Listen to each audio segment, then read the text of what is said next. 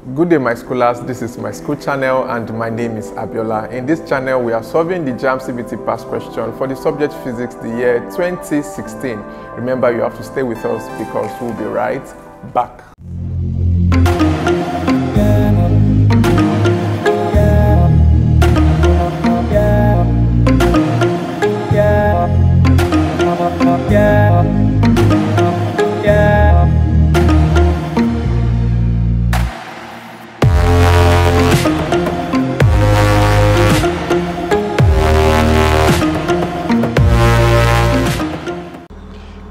Welcome back to Myschool channel and in this video clip we are solving questions 21 to 35. So we have to solve question 21. Now, so a meter rule is pivoted at its midpoint with a vertical force of 10 newtons and gained from the distance 30 centimeter from the midpoint, okay? At what distance must a 15 newton force hang to balance the roller horizontally? This is very simple. Just use clockwise movement equals anti-clockwise movement. So we'll have 30 times 10, that is 300 already equals 15 times x. Okay, so that is 300 equals 15x. So 15 divided by 300 of uh, 300 over 15, whichever we want to pick it, that should be 20. So it has to be um, the distance has to be 20 centimeters so that this can create a balance. So the correct option here is option C, 20 centimeter. Number 22. A projectile is fired from the ground level with a velocity of 300 meter per second at an angle of 30 degrees to the horizontal. Okay, so calculate the time taken to reach the maximum height. Okay, we are not asked to look for time of flight. Time of flight has to touch the ground again. We are not asked to look for maximum height. We are asked to look for the time taken to reach the maximum height. So when it is being projected, okay, the maximum height, not touching the ground again. So to reach that maximum height. So that will be the time taken to reach the maximum height is actually half of the total time of flight. So let's go to the whiteboard and provide solutions to this very easy question.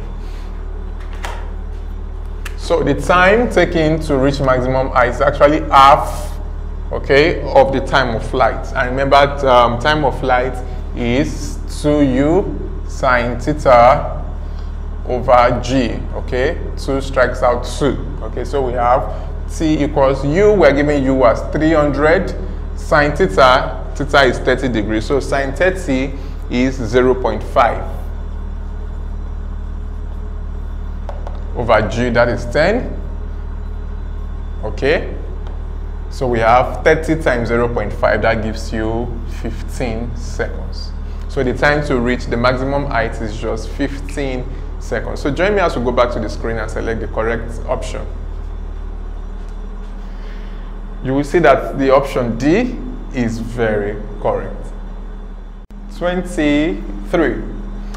A train with an initial velocity of 20 meter per second is subjected to a uniform deceleration of 2 meter per second square.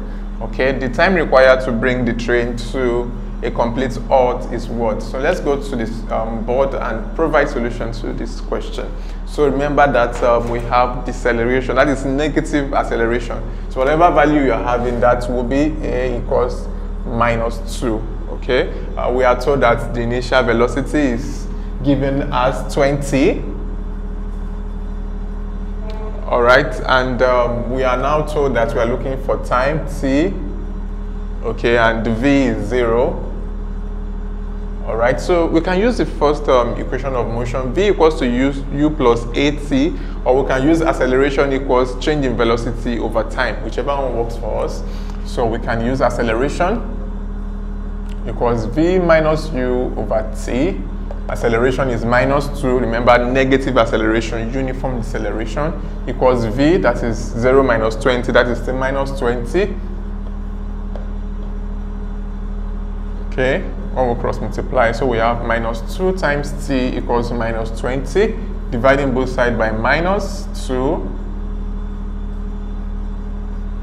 So the time required is 10 seconds. So join me as we go back to the screen and select the correct option. Here we see, option B, 10 seconds as the correct option. Number 24. Which of the following electromagnetic waves has the shortest wavelength? Okay, the one with the shortest wavelength but the highest energy, of course, that is gamma rays. Okay, of all of the electromagnetic waves, the one with the shortest wavelength, once again, that is gamma rays and has the most energy. Okay, so the correct option here is option D for gamma rays. Don't forget to utilize the link in the description below. It's going to take you to the Myschool website where you can download the Myschool mobile app or get the Myschool software for just a token of 1000 Naira. So join me as we tackle question 25. A radioactive isotope has a decay constant of 10 raised to power minus 6. Calculate its half-life. So half-life equals that into over the radioactive decay constant. Okay, so the value of this is 0.693. The constant given from the question, the K constant is 10 raised to power minus 6. So for the numerator, this means 0.693 means 693 times 10 raised to power, if we move 1 to 3, minus 3, okay? Divided by 10 raised to power minus 6. So this means 693 times 10 raised to power minus 3. Divide means minus into brackets minus 6. Okay, so we have 693 times 10 raised to power minus 3. Minus times minus, that is plus 6. So minus 3 plus 6 or 6 minus 3, that gives you 3. So I have 693 times 10 raised to power 3 or 6.93 times 10 raised to power 5. Remember, if I move 1, 2, add the 2 here, then we have 5. You know, different people have um, their approaches, different approaches towards how they manipulate standard form. This is just one technique I can, I can recommend. So either you have 6.93 times 10 raised to the power 5 or 693 times 10 raised to the power 3, whichever one works for us. Join me as we go back to the options to secure the correct answer. So we have 6.93 times 10 raised to the power 5. So the half-life is found in option B. Kindly remember that you have to hit on the like button, click on the subscribe button and tap on bell notifications so you can get informed as soon as we upload the next video clips. Number 26. Which of the following waves is both transverse and mechanical? So example of transverse wave, we talk about water waves, we talk about light waves, we talk about radio waves, waves on uh, ropes or strings. When you talk about mechanical waves, you know they require material medium for their propagation. Example again is water waves. We have another example like sound wave, okay? We have another example like uh, waves on rope or strings. So I've just mentioned water waves twice. So which of the following waves is both transverse and mechanical? The answer is water waves, option A.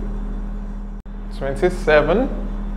Calculating the temperature of 6 moles of an ideal gas at a pressure of 7.6 times 10 raised to power 6 with a volume of 10 raised to power minus 3 meter cube given our the gas constant as 8.3 so we just have to use is the ideal gas equation so that is PV equals nRT so the question requires that we find the temperature T. So that is so that is T equals PV over NR. The P is given as 7.6 times 10 raised to power 6 times the volume is given as 10 raised to power minus 3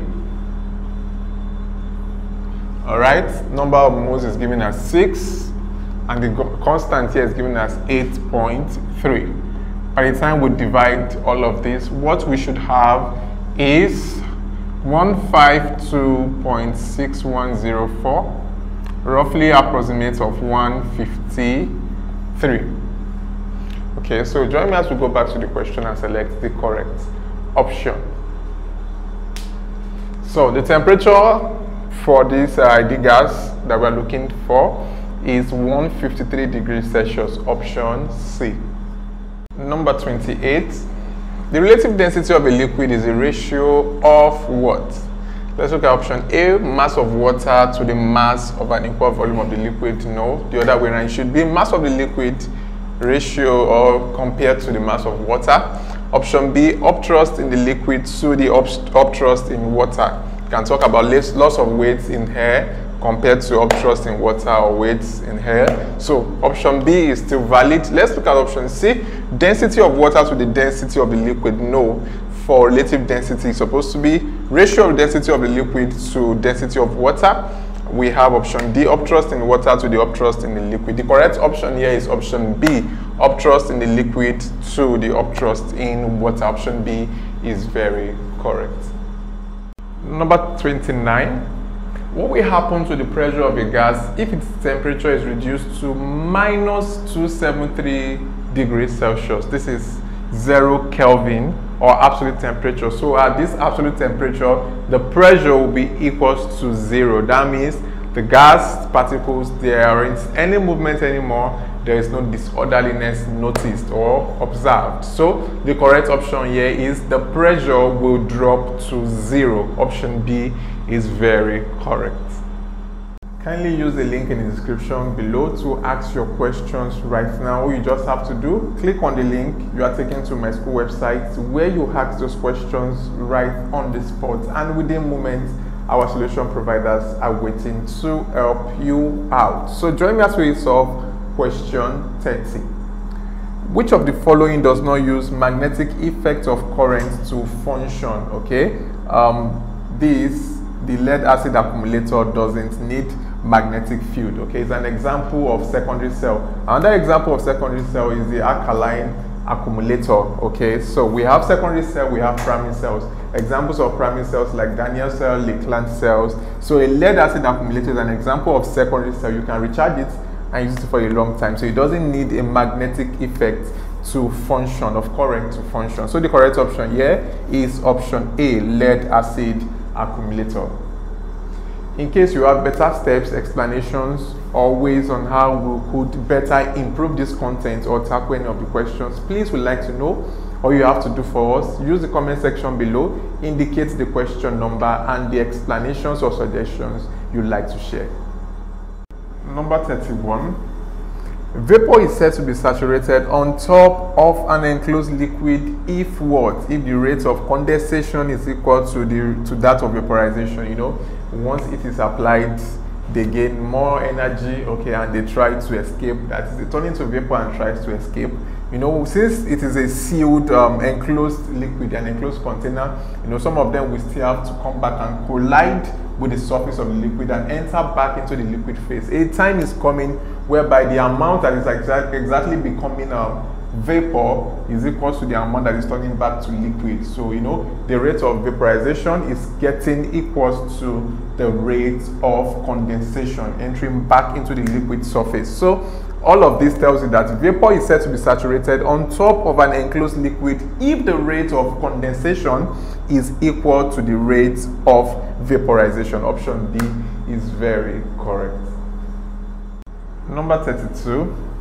A pool of water appears to be 1.00 meter deep when viewed vertically from above what is the actual depth of the pool or what is the real depth of the pool given refractive index of water is 1.33 so recall that refractive index equals real depth over apparent depth. So that means n equals the real depth which we are looking for over the apparent depth. So we are given apparent depth as 1 so that will be 1 times 1.33 if you cross multiply Okay, so your answer will be 1.33. So the real depth is 1.33 meters. Option D is very correct. Question 33. Shadows and eclipse results from the what? This results from the rectilinear propagation of light. That is, light travels in a straight line.